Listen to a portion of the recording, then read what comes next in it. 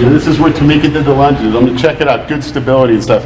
Yeah, as you can see the droplets of sweat that was glistening off her, bo- her sweaty body, her sweaty Nubian body. And I can just, I'm reveling in the musky scent of the whole thing. Now, actually, this isn't much of a punishment. I'm actually gonna enjoy this. To see this, if I can bend down, a little tight this morning. See the droplets all over the place? I see them, Lenny. Yes, I do. Ah, delicious. Do that again. Look what this sick fuck is doing. He's got to put his leg back. That That's over. pretty good. He's got to put his leg back. It's like fresh, fresh musk. Hey, Lenny, bend over again. He's licking her sweat drops, Andrew. I wish I could get on. I'm just so sore and so massive. Wait, do, do it one more time.